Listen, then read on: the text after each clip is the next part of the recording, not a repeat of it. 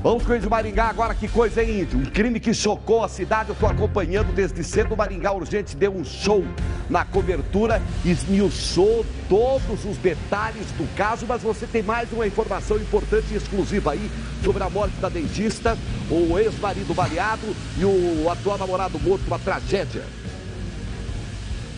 Exatamente, Robson. E olha só, o número só não foi maior de mortes porque o dentista de 30 anos, o Victor, ele, o Morimoto, ele conseguiu correr e pedir ajuda em um bar.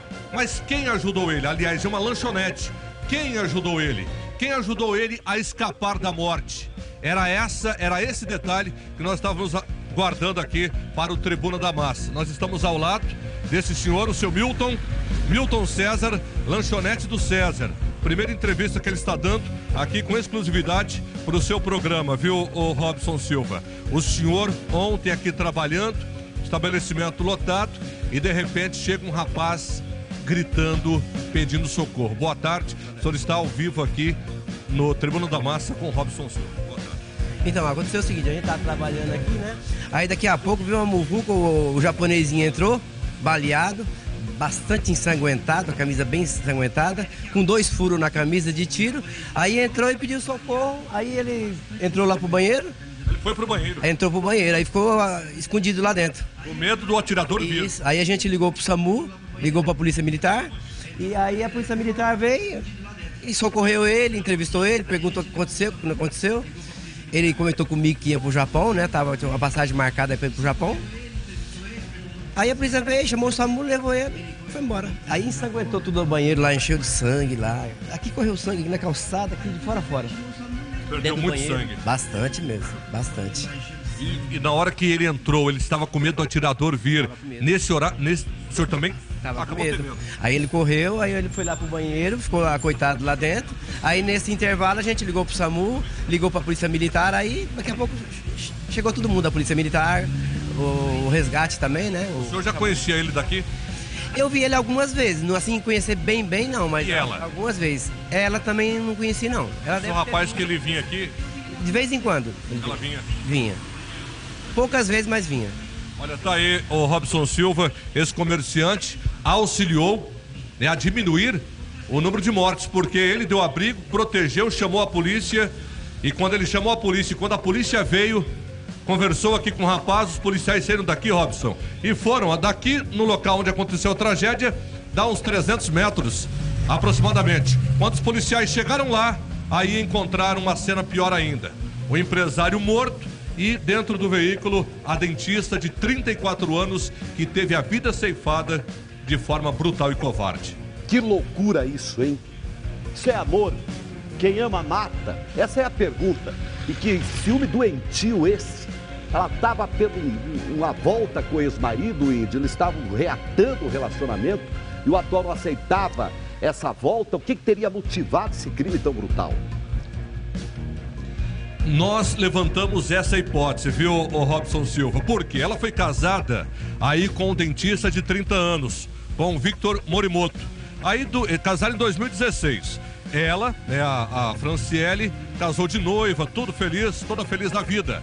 Só que aí o ano passado ela conheceu o Marcelo, Marcelo esportista, né, um cara é, bem apessoado, um cara com uma situação financeira boa, né, uma pessoa boa.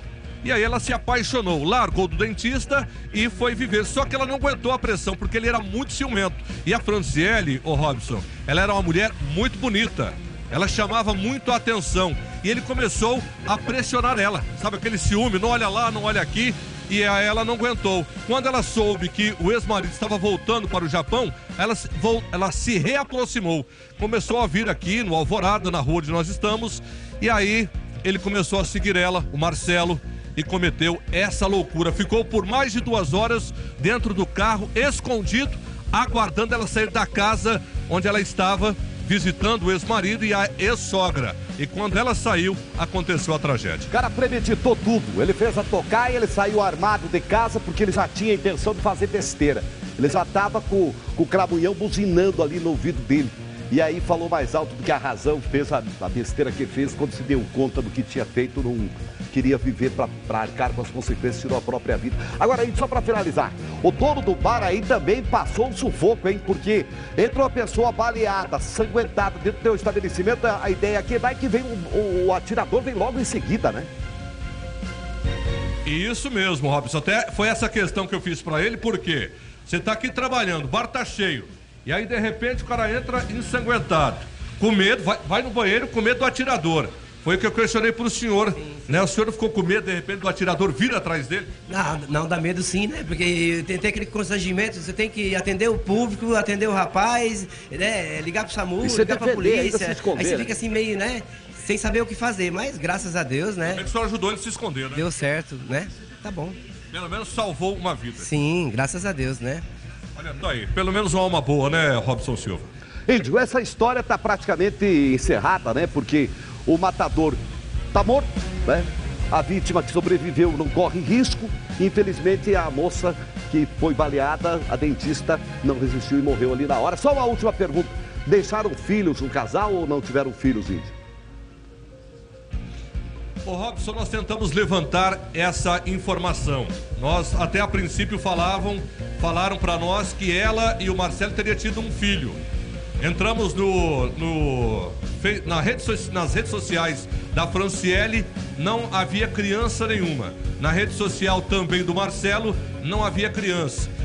Te, durante o tempo que ela foi casada com o Victor, não tiveram filhos. Então a informação a princípio é que ela, é a dentista de 34 anos, não deixou filhos, né, deixou só saudade, que era uma pessoa boa, todo mundo gostava dela e acabou pagando pelo ciúme excessivo de um namorado louco.